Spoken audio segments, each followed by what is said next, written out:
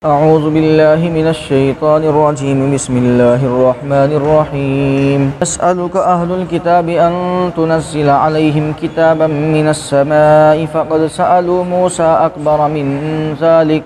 من ذلك فقالوا أرنا الله جهرة فأخذتهم الصاعقة بظلمهم. ثم اتخذوا العجل من بعد ما جاءتهم البينات فعفونا عن ذلك. وآتینا موسیٰ سلطانا مبینہ تجھ سے درخواست کرتے ہیں اہل کتاب کہ تو ان پر اتار لاوے لکھی ہوئی کتاب آسمان سے۔ سو مانگ چکے ہیں موسیٰ سے اس سے بھی بڑی چیز۔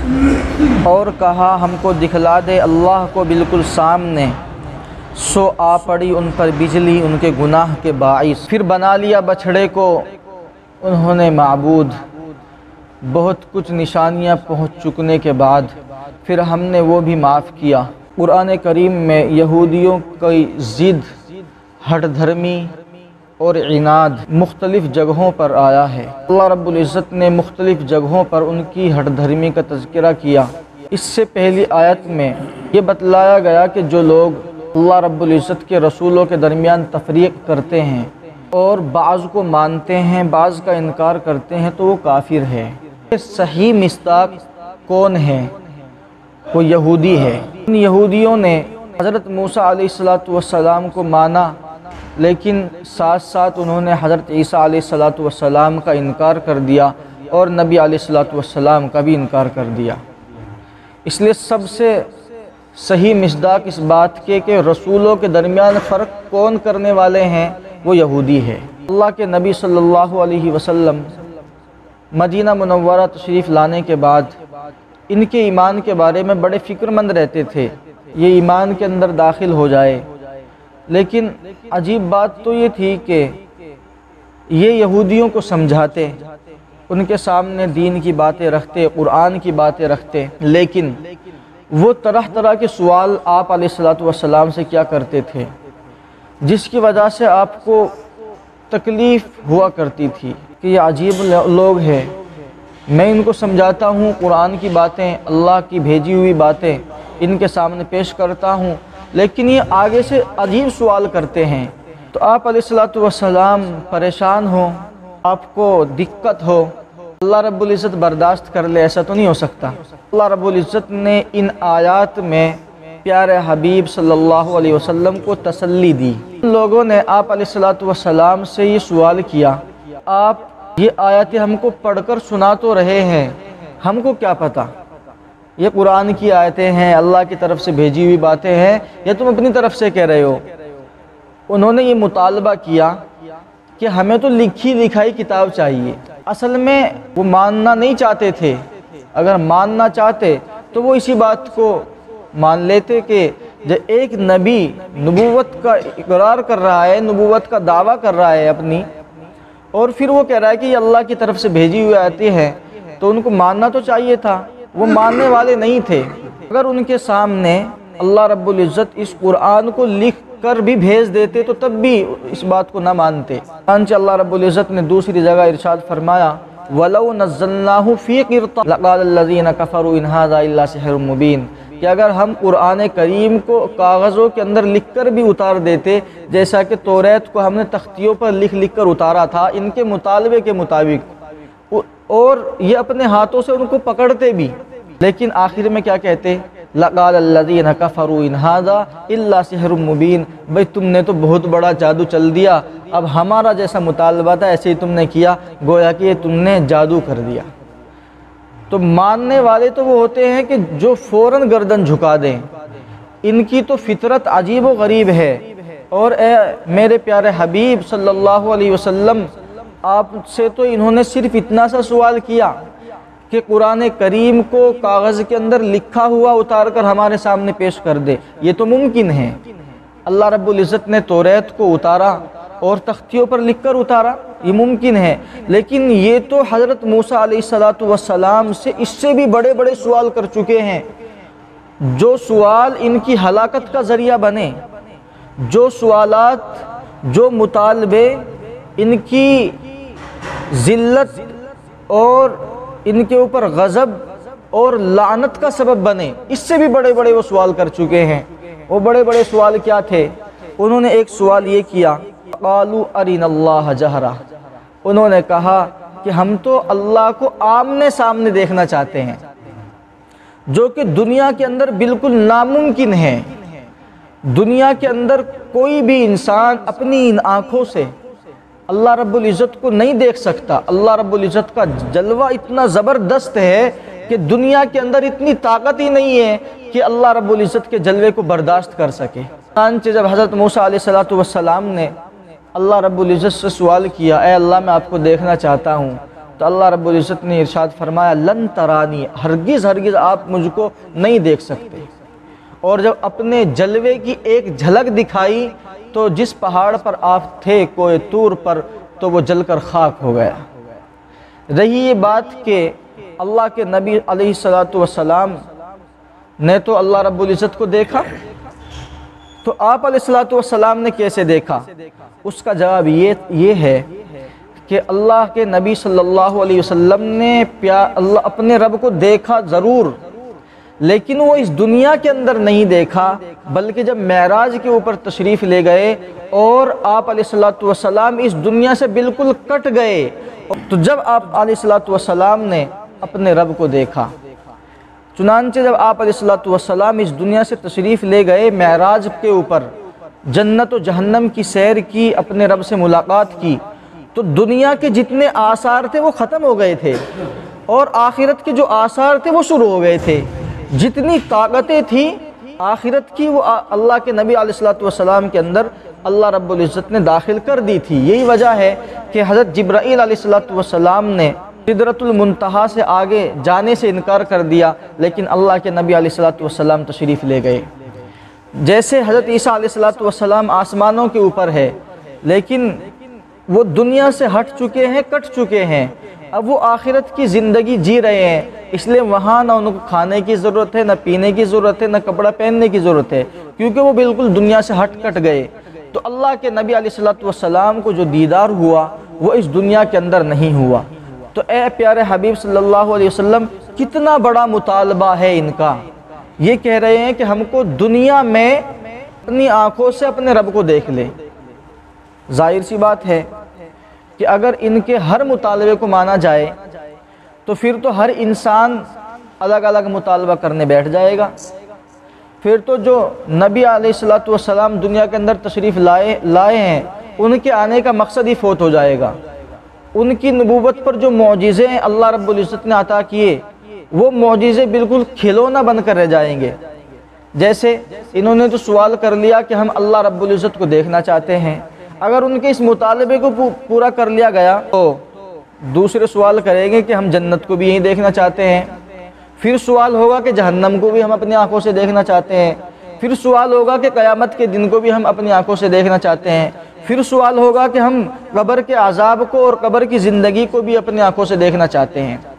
تو اللہ رب العزت نے نبیوں کی نبوت پر جو دلائل بنا کر معجزہ عطا فرمائے، وہ اپنی حکمت سے عطا فرمائے، ان کے مطالبے پر معجزے کا بھیجنا موقوف نہیں ہے۔ کفار مکہ نے آپ علیہ السلام سے مطالبہ کیا کہ آپ اس چاند کے دو ٹکڑے کر دیں شک القمر کا معجزہ۔ ہم آپ کے اوپر ایمان لے آئیں گے۔ آپ علیہ السلام نے اپنی انگلی سے، مبارک انگلی سے چاند کی طرف اشارہ کیا اور چاند کے دو ٹکڑے ہو گئے۔ انہوں نے یہی کہا کہ یہ تو سراسر جادو ہے، کھلا ہوا جادو ہے۔ یہ کوئی سچ بات اور برحق بات نہیں ہے۔ تو اس لیے ہر مطالبے کا جواب نہیں دیا جاتا۔ لیکن بہرحال انہوں نے حضرت موسیٰ علیہ السلام سے یہ مطالبہ کیا کہ ہم اپنے رب کو اپنے آپ سامنے دیکھنا چاہتے ہیں۔ سے بھی بڑا جرم ان کا یہ تھا کہ جب حضرت موسیٰ علیہ السلام کوہ طور پر تشریف لے گئے تورت لینے کے لیے اور اللہ رب العزت کا پیغام لینے کے لیے، جب انہوں نے سوال کیا تھا کہ ہم کو تو کوئی قانون چاہیے کہ ہم اس قانون کے مطابق زندگی گزارنا شروع کر دے، ادھر حضرت موسیٰ علیہ السلام تو کوئی طور پر گئے اور ادھر ایک شخص تھا جس کا نام بھی موسیٰ تھا۔ موسیٰ بن ظفر اس کا نام تھا اور اللہ رب العزت نے سامری کے نام سے اس کا تذکرہ قرآن کریم کے اندر کیا۔ اس نے ان کے درمیان بچھڑے کو معبود بنایا اور اس کی پوجا کرنی شروع کر دی۔ وہ اس طرح کہ جب حضرت موسیٰ علیہ السلاۃ والسلام اور بنی اسرائیل فرعون کے ظلم و ستم سے پار ہو کر بحر قلزم کو پار کر کے ادھر گئے، تشریف لے گئے، تو حضرت جبرائیل علیہ السلاۃ والسلام اس لشکر کی نگرانی کر رہے تھے۔ اللہ رب العزت نے ان کے گھوڑے کے اندر اتنی طاقت رکھی تھی کہ جہاں جہاں ان کا اس گھوڑے کا قدم رکھا جاتا، وہیں وہیں سبزہ اگاتا، تو اس نے دیکھ لیا کہ اس کے اندر تو طاقت ہے۔ چنانچہ اس نے وہیں وہیں سے وہ مٹی اٹھائی اور اس کو اکٹھا کر دیا۔ جب یہ لشکر پار ہوا اور بنو اسرائیل کے پاس بہت سا سونا اور چاندی تھا، انہوں نے اس کو دکھلایا سامری کو کہ یہ مال غنیمت ہے جو ہمارے پاس ہے اور ہم اس کو اکٹھا کر کے لائے ہیں۔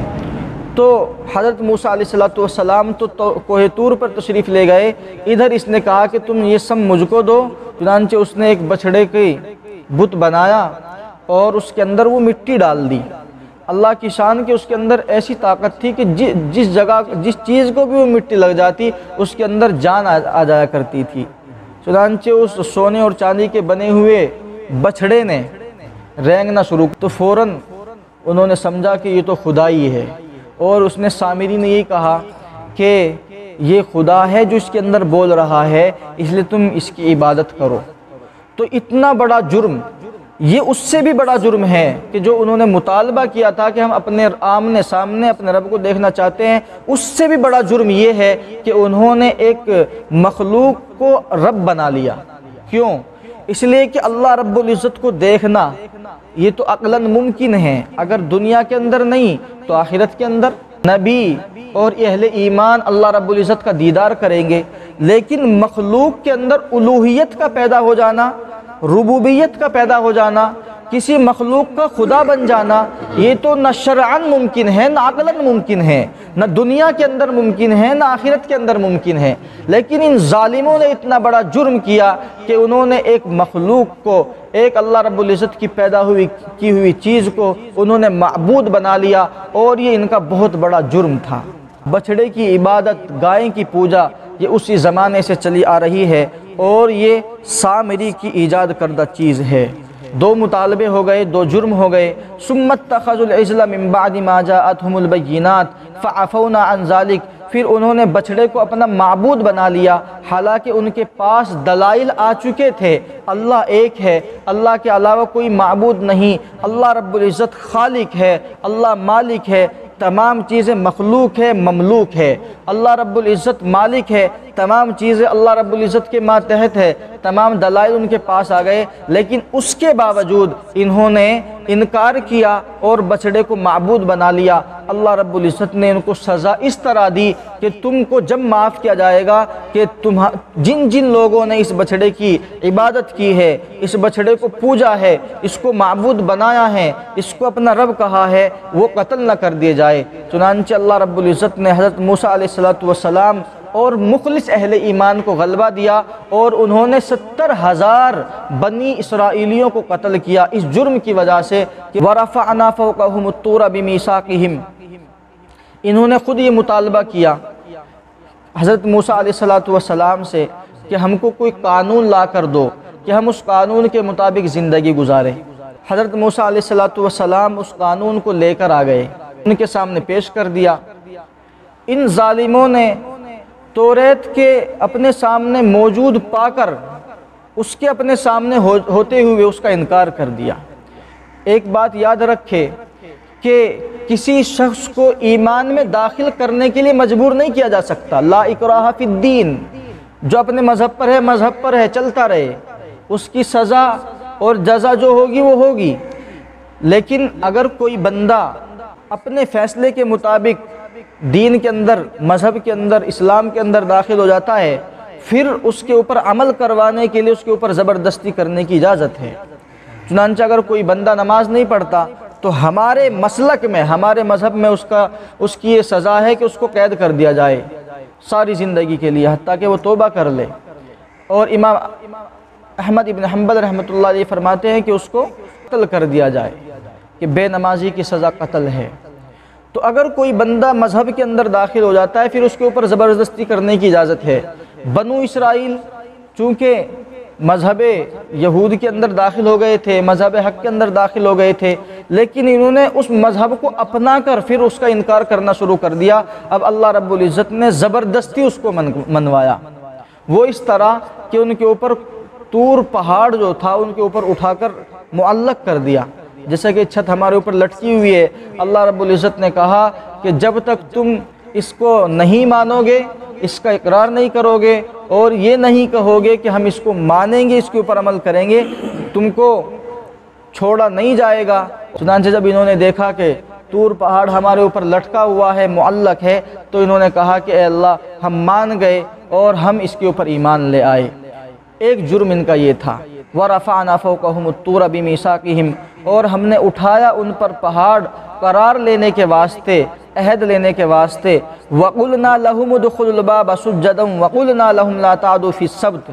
ایک جرم ان کا یہ تھا کہ جب اللہ رب العزت نے ان کو شہر ایلیا میں فتح عطا فرمائی، تو ان کو یہ حکم دیا کہ تم جب اس کے اندر داخل ہونا تو سجدے کی حالت میں یعنی تمہارے اندر توازو ہو، بناوٹ نہ ہو، تکبر نہ ہو، میں نہ ہو تم اپنے آپ کو بڑے نہ سمجھ رہے ہو، بلکہ اس کو اللہ رب العزت کی عطا اور نعمت سمجھتے ہوئے اس طور پہ اس شہر کے اندر داخل ہونا کہ تمہاری زبان پر ہو، حتہ حتہ، اے اللہ ہم کو معاف فرما دے، اے اللہ ہم کو معاف فرما دے۔ لیکن ان ظالموں نے یہاں پر بھی جرم کیا، یہاں پر بھی انہوں نے ایسا کام کیا۔ اللہ رب العزت نے تو ان کو کہا تھا کہ تم توازوں کے ساتھ داخل ہونا متکبرانہ چالے چلے، بڑائی کی چالے چلے۔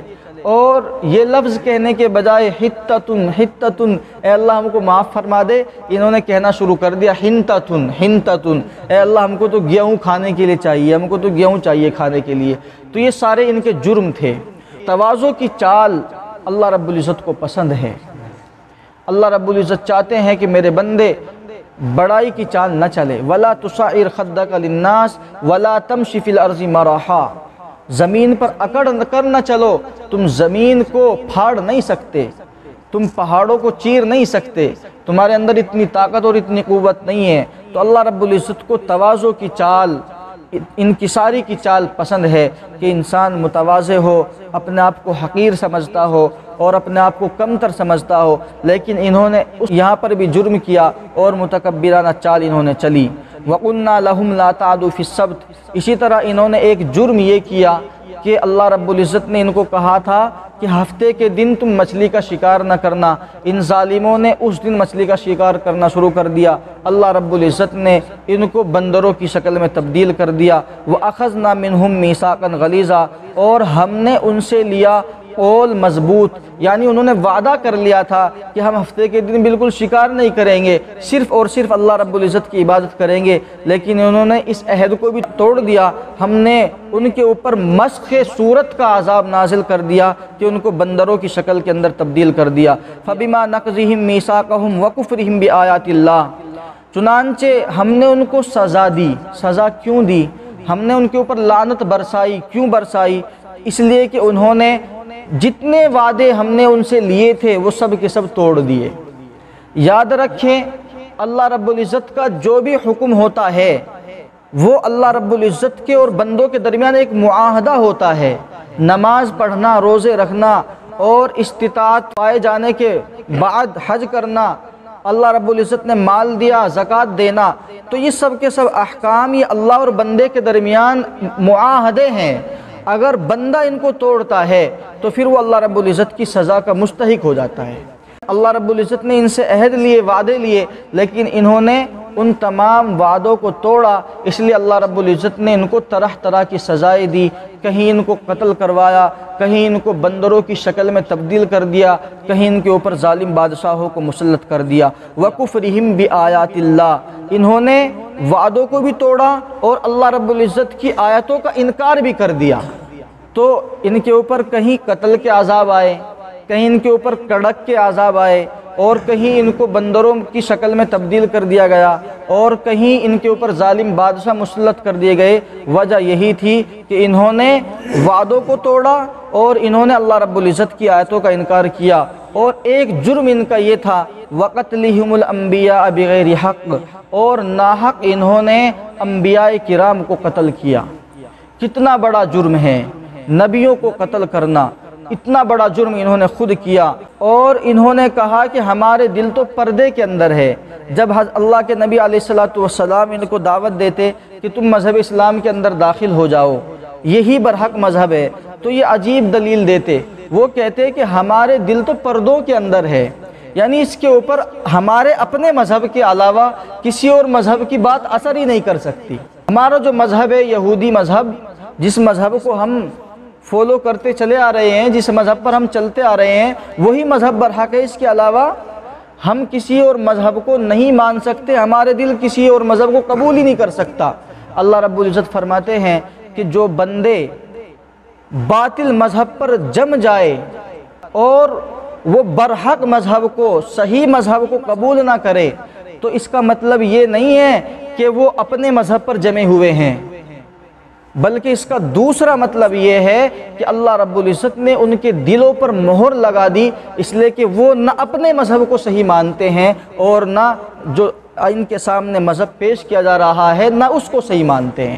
ایسی بات نہیں ہے، بلکہ اللہ نے ہی مہر لگا دی ان کے دل پر کفر کے سبب، تو وہ ایمان نہیں لاتے، مگر تھوڑا سا۔ آج دیکھو کتنے باطل مذہب کے لوگ ہیں۔ ان کو پتہ ہے کہ ہمارا مذہب غلط ہے۔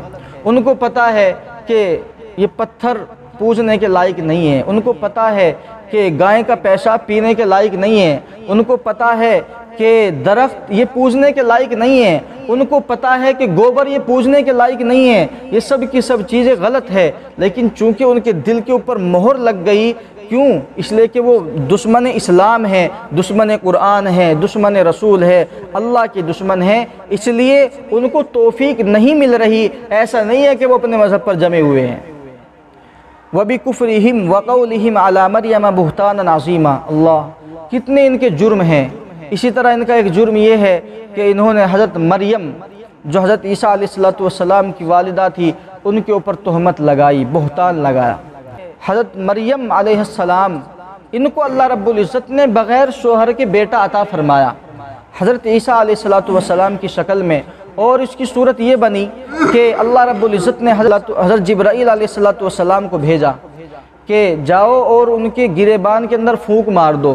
چنانچہ یہ نہا کر فارغ ہوئی تھی کپڑے پہن کر، تو حضرت عیسیٰ علیہ حضرت جبرائیل علیہ السلام آگے کھڑے ہوئے تھے۔ انہوں نے دیکھا تو فرمایا، قالت، انی اعوذ بالرحمن من کا ان کنت تقیہ۔ اگر تو اللہ سے ڈرتا ہے تم مجھ سے پیچھے ہٹ جا۔ میں تجھ سے پناہ چاہتی ہوں۔ انہوں نے کہا، قال انما انا رسول ربک. میں تو اپنے رب کا بھیجا ہوا فرشتہ ہوں اور میں تم کو ایک نبی بننے والے بیٹے کی خوشخبری دینے کے لیے آیا ہوں۔ انہوں نے کہا کہ میرا کہاں سے بیٹا ہو سکتا ہے؟ نہ میں بدکار ہوں، نہ میں نے نکاح کیا، پھر بیٹا کیسے ہو سکتا ہے؟ حضرت جبرائیل علیہ السلام نے کہا، اللہ رب العزت کا حکم یہی ہے۔ چنانچہ انہوں نے گریبان کے اندر پھونک ڈالی اور اللہ رب العزت کے حکم سے وہ حاملہ ہو گئی۔ چنانچہ جب بچہ جننے کے قریب ہوا، اللہ رب العزت نے ان کو حکم دیا کہ جاؤ بجز ان نخلہ تساقت علیہ کی روتا بن جنیا فکلی وشربی وقردری عینہ جاؤ، جا کر کھجور کے درخت کے پاس بیٹھ جاؤ اور اس کے پھل کھاؤ، پانی پیو اور اپنی آنکھوں کو ٹھنڈا کرو۔ چنانچہ وہ وہاں پر جا کر بیٹھ گئی۔ اللہ رب العزت نے حضرت عیسیٰ علیہ السلام کی شکل میں ان کو بیٹا عطا فرمایا۔ تو ان ظالموں نے آپ کے اوپر تہمت لگانا شروع کر دیا، بہتان لگانا شروع کر دیا اور کہا کہ اے مریم، تو تو ایسی نہیں تھی۔ ماں کان ابو کی میرا و ماں کانت امو کی بغیہ۔ تمہارے باپ ایسے نہیں تھے، تمہاری ماں ایسی نہیں تھی، تم ایسی کہاں سے ہو گئی؟ یعنی بدکار، نعوذ باللہ، زیناکار، نعوذ باللہ، انہوں نے ان کو کہنا شروع کر دیا۔ یاد رکھے کہ جب کوئی بیٹا اور بیٹی غلط قدم اٹھاتے ہیں تو ان کو ٹارگیٹ نہیں بنایا جاتا، بلکہ ان کے ماں باپ کو ٹارگیٹ بنایا جاتا ہے۔ جیسا ان ظالموں نے کہا نا کہ تمہارے ماں باپ تو ایسے نہیں تھے تم ایسی کیسے بن گئی؟ خاموش رہی۔ اللہ رب العزت نے ارشاد فرما دیا تھا کہ جو بھی تمہارے پاس آئے اور تم کو کچھ کہے، تو تم کہنا کہ میں روزے سے ہوں۔ چنانچہ جب وہ تہمت لگا رہے تھے بات چیت گھڑ رہے تھے، اللہ رب العزت نے حضرت عیسیٰ علیہ السلام کو قوت گویا عطا فرمائی۔ والا انما عبد اللہ آتانی الکتاب وجعلنی نبیہ او ظالموں تم میری ماں کے اوپر تہمت نہ لگاؤ۔ میں تو اللہ کا بندہ ہوں۔ اللہ رب العزت نے مجھ کو کتاب عطا فرمائی۔ اللہ رب العزت نے مجھ کو نبی بنایا۔ تم میری ماں کے اوپر تہمت لگا کے کفر نہ کرو اور انکار نہ کرو۔ اگر تم میری ماں کے اوپر تہمت لگاؤ گے، ہلاک کر دے جاؤ گے۔ اتنا بڑا جرم تھا۔ ایک پاک دامن، عفیف عورت پر تہمت لگانا۔ جبکہ وقت کا نبی ان کو خود کہہ رہا ہو کہ میں نبی ہوں، اللہ کا بندہ ہوں، لیکن ان ظالموں نے جرم کو کیا اور اس سے باز نہیں آئے۔ وقولہم علی مریم بہتان عظیمہ اور انہوں نے مریم پر بڑا طوفان باندھنے پر اللہ رب العزت نے ان کی پکڑ کی۔ وقولہم انا قتلنا المسیح عیسی بن مریم رسول اللہ، اور ان کے اس کہنے پر کہ ہم نے قتل کیا مسیح عیسیٰ مریم کے بیٹے کو جو رسول تھا اللہ کا۔ یہ کتنا بڑا جرم ہے۔ انہوں نے ایک تو اللہ کے نبی عیسیٰ علیہ السلام سے دشمنی کی۔ کسی نبی سے دشمنی کرنا یہ کفر ہے۔ اور پھر کسی نبی کے قتل پر دعویٰ کرنا یہ سے بڑا کفر ہے۔ تو اس ان کے دشمنی کی وجہ سے اور دعوی قتل کی وجہ سے اللہ رب العزت نے ان کے اوپر ذلت کا عذاب، لعنت کا عذاب مسلط کر دیا۔ وقولہم انا قتلنا المسیح عیسیٰ بن مریم رسول اللہ وما قتلوہ وما صلبوہ ولیکن شبیہ یہودیوں نے یہ دعویٰ کر رکھا ہے کہ ہم نے حضرت عیسیٰ علیہ السلام کو سولی پر لٹکا دیا۔ اللہ رب العزت ارشاد فرماتے ہیں کہ نہ تو ان کو قتل کیا گیا، نہ ان کو سولی پر لٹکایا گیا، بلکہ ہم نے ان کو آسمانوں کے اوپر اٹھا لیا۔ ولیکن شبیہ لہم، لیکن ان کو شبہ پڑ گیا کہ ہم نے ان کو قتل کر دیا ہے۔ شبہ کیسے پڑا؟ امام تفسیر حضرت زحاق رحمۃ اللہ علیہ فرماتے ہیں کہ اللہ رب العزت نے ان کو اس طرح شبے کے اندر ڈال دیا۔ ان ظالموں نے حضرت عیسیٰ علیہ السلام کے مکان کو گھیر لیا۔ اس ارادے سے کہ ہم ان کو قتل کر دیں گے۔ ہم ان کو پکڑیں گے اور ان کو سولی پر چڑھا دیں گے۔ حضرت عیسیٰ علیہ السلام اندر ہیں، آپ کے حواری اور مخلص مسلمان آپ کے ساتھ ہے حضرت عیسیٰ علیہ السلام نے ایک اعلان کر دیا کہ جو میرے بدلے میں اللہ رب العزت کے راستے میں شہید ہونا چاہتا ہو، وہ تیار ہو جائے، میں اس سے وعدہ کرتا ہوں، وہ جنت میں میرے ساتھ ہوگا۔ چنانچہ ایک صاحب کھڑے ہو گئے۔ حضرت عیسیٰ علیہ السلام نے اپنا عمامہ اتارا، اپنے کپڑے اتارے اور اس کو عنایت فرما دیے۔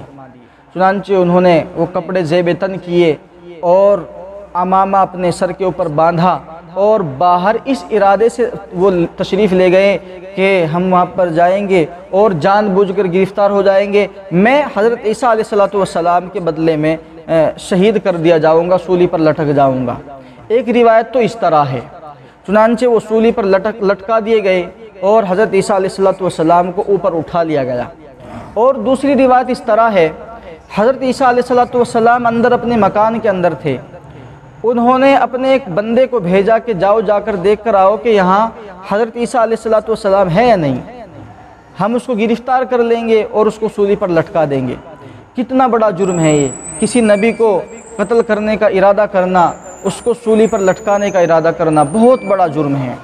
چنانچہ وہ اندر گیا۔ اللہ رب العزت نے اپنی طاقت اور قدرت سے اس بندے کی شکل کو حضرت عیسیٰ علیہ السلام کی شکل میں تبدیل کر دیا۔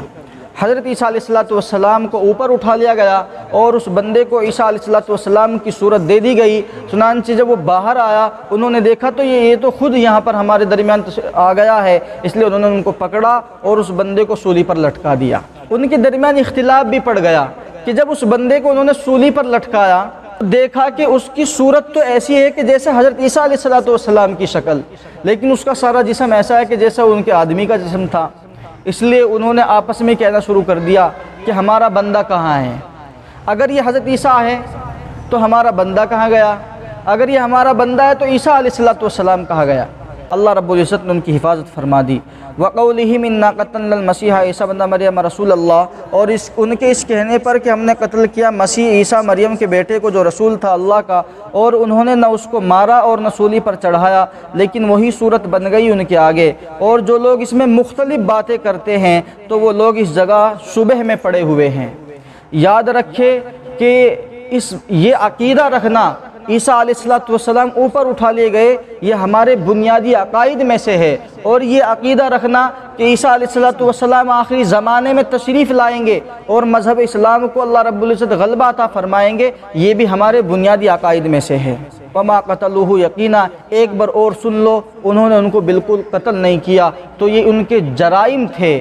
ان کے کرائم تھے کہ جو انہوں نے اپنی زندگی کے اندر کیے اور اللہ رب العزت نے ان کو سزائے دی۔ اللہ رب العزت سے دعا ہے۔ اللہ رب العزت ہم سب کو گناہوں سے محفوظ فرما اور ہم سب کو ایسی سوچ کہ جو ہمارے ایمان کے اندر خلل ڈالنے والے ہو اور ہمارے ایمان کے اندر کوتاہی اور کمی کرنے والے ہو۔ سبحان اللہ وحمدی سبحانک اللہم